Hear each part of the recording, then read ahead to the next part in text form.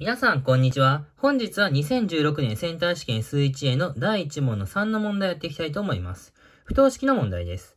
はい。えー、まずこういう風になってますが、不等式1の解をまず求めてくださいということで、はい。この式因数分解しましょう。で、20a 事乗となってるので、まあ、20と a 事乗の掛け算かなっていう風に考えてあげるといいでしょう。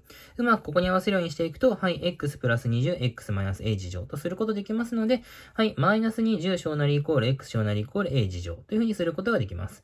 まあ、この値から推測してもいいんじゃないでしょうか、これは。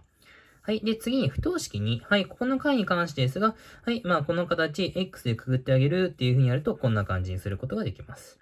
はい、えー、で、次。はい。この連立等式を満たす負の実数が存在するということですが、はい。負の実数存在するためにはどうすればいいかということで、はい。このマイナス20とマイナス 4a、まあ、それぞれに置関係書くとこんな感じになりますので、負の実数存在するためには、このマイナス20がマイナス 4a 以下である必要があります。